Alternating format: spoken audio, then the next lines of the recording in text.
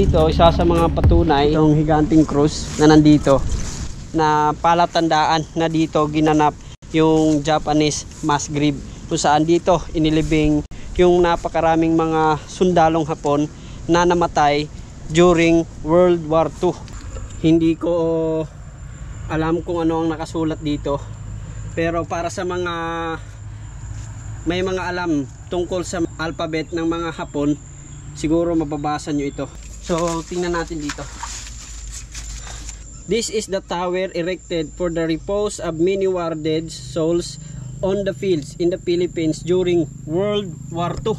Ayan, isa sa mga patunay na dito nagsagupaan yung Amerikano at mga Hapones.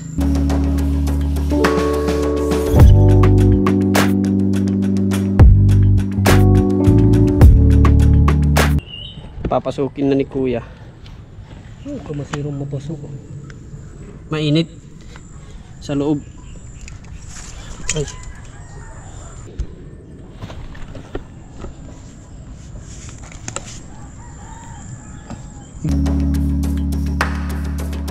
Anong mga nakita mo dito sa loob nung pumasok ka dyan? Bukan.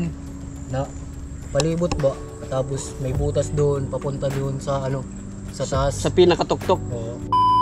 Good morning mga kawaray, welcome back na naman sa aking panibagong vlog. So ngayong araw ay magta-travel na naman tayo. So pupuntahan natin ang isa sa mga lugar dito sa Leyte kung saan makikita natin yung ah, libingan ng mga Hapon during World War II. So papasukin natin yung tunnel na ginawa ng Hapon nung unang panahon. So, by the way nga pala, nandito tayo sa shop ko. Ayan, Melbourne Fibra TV Motor Shop. Ah, shoutout nga pala sa mekaniko natin at kay ah, yung pinagkakatiwalaan natin dito sa shop. So, bisita lang kayo dito. Nandito ito sa ah, Barangay 4, Real Street, Haro, Leyte. Along the highway lang po yan kung palabas ka ng Haro papuntang Carigara. Since handa na yung motor ko, ito yung gagamitin natin, si Macarius. Ayan. So, umpisahan na natin ang ating biyahe. Mula dito sa Haro Leyte, magta-travel lamang tayo ng mga ah, almost 1 hour. Yan. Buti na lang maganda yung panahon kasi nung mga nakarang araw, medyo masama yung panahon kaya hindi tayo nagbabiyahe. Salamat sa Panginoon dahil binigyan tayo ng magandang panahon.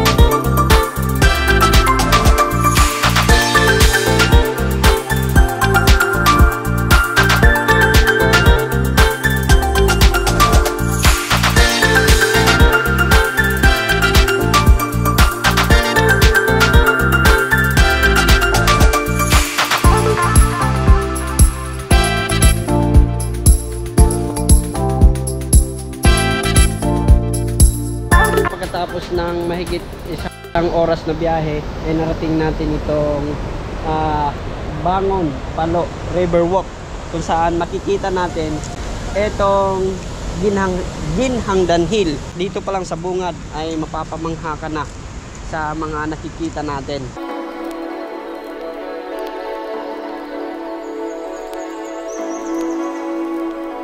ito po yung aakyatin natin kung saan pupuntahan natin ang isa sa mga tunnel na nandirito sa tuktok ng bundok na ito na ginawa ng mga Hapon na tinatawag nilang pillbox kung tawagin dito sa Palo Leyte.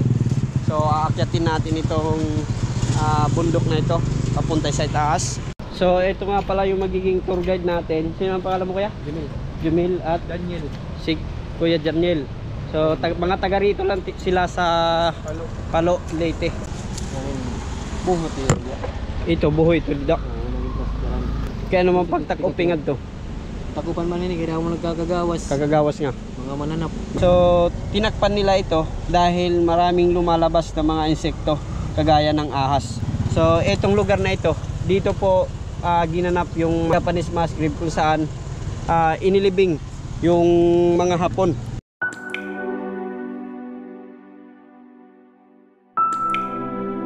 Dinidisiplina yung lugar nila dito dahil meron silang mga lagayan ng basura. Dito pa lang sa pinakabungad, tanaw na natin yung bayan ng Calooc Leyte.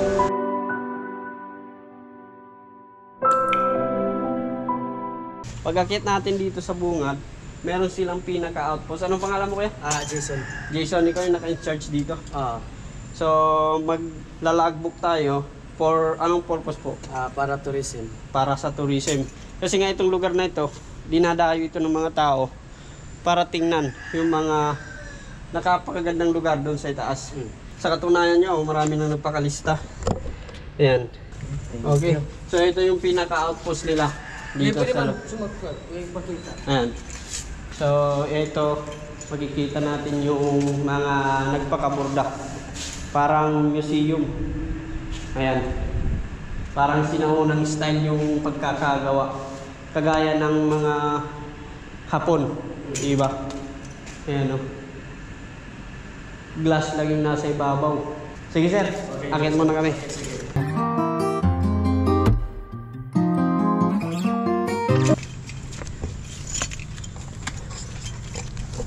makikita natin yung mga lamat ng mga sinaunang panahon na ginawang hagdanan. Makikita natin oh. So gawang gawa ito ng mga hapon. Ayan. Yung simento. Napakatahimik ng lugar. So dito makikita natin itong terrace. Ayan. So di- hindi pa ganito yung itsura nito. Mas binaganda na ito ngayon ng LGU para mas ah, magiging attractive para sa mga turista so dati na itong nandito nung nandito pa yung mga hapon nung unang panahon. Dahil nga sa mga nakalap nating impormasyon makikita natin daw dito yung isang tunnel. Ayan oh hindi basta basta itong ginawa nilang tunnel na makikita natin. Kasi sobrang laki nito at yung butas na makikita natin dito sa loob.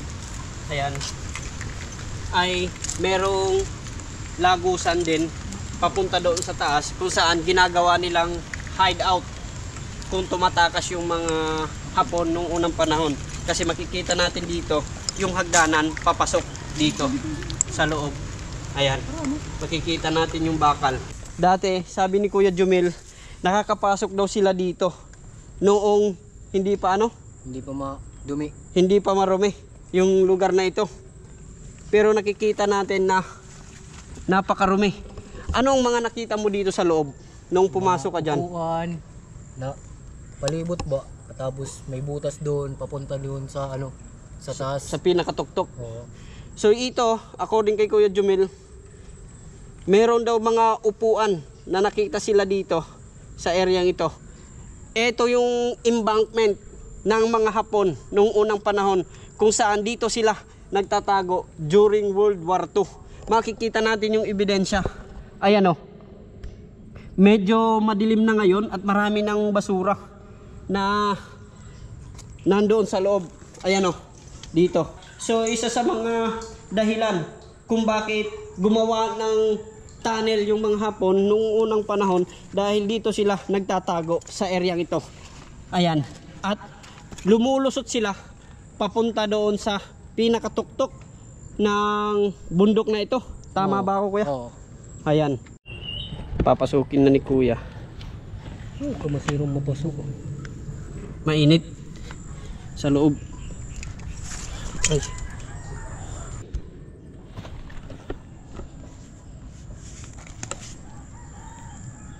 Sige. Ano ito naman makan ba to? Hmm? Wala, rumi ito tubig. Itling kurang din nakikita. Di ma Ayan. ito tubig ito. Tubig. Ano nakikita nyo dyan sa loob? Tubig nga malarim.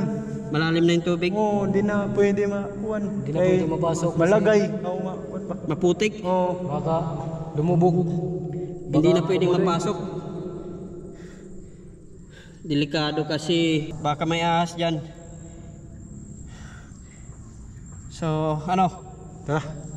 Labas na lang tayo. Delikado. Hindi na tayo mag-a-attempt na pasukin pa Kasi ngayon ay napakarumi na at hindi kakayanin ng ah, sikmura natin dahil may amoy dito sa loob. Masusuffocate tayo. Ayan. So, tingnan natin dito sa taas. Ayan. Yung hugis nito ay parang itlog na bilog. Ayan, makikita natin. At napakalapad dito sa taas ng tunnel na ito. Dito sa part na ito ay mayroong lagusan papunta doon sa kabila. According po sa nakalap natin na impormasyon, doon sa ibaba yung pinaka entrance ng butas na ito na tinakpan ng simento ngayon ay according po sa napagtanungan natin ay diretso daw papunta rito. At dito po sa loob, dito po sa loob ng embankment na ito ay meron din butas na kung saan lulusot ka papunta doon sa taas na merong labasan papunta doon sa pinakatuktok ng bundok na ito. Dahil nga sa matinding kaguluhan at gera na ginawa ng mga Amerikano at mga Hapones nung unang panahon ay hindi to na po sila nagtago. Ayan. So makikita natin na merong butas po dito. Kaya ngayon, aakyat tayo papunta doon sa itaas para makita natin yung iba pang mga landmark ng mga Hapon nung unang panahon.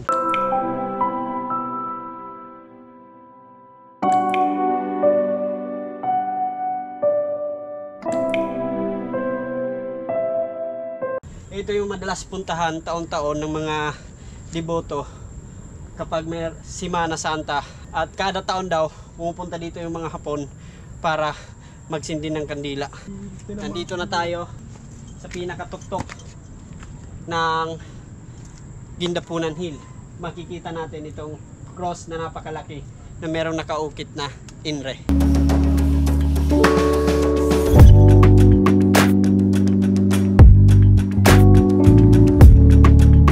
Dito, isa sa mga patunay itong higanting cross na nandito na palatandaan na dito ginanap yung Japanese mass grave kung saan dito inilibing yung napakaraming mga sundalong Hapon na namatay during World War II. Ayan.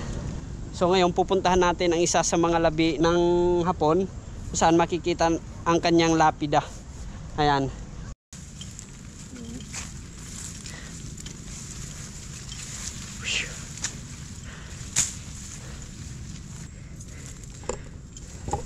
So makikita natin yung inaakyat natin na nandito tayo sa pinaka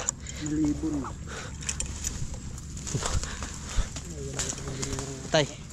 Nandito na tayo sa pinakalibingan ng mga Hapon na namatay nung panahon ng World War II. Ito yung ginawa ng mga Hapon na hagdanan para dito sa mga bangkay na inilibing. Ayan.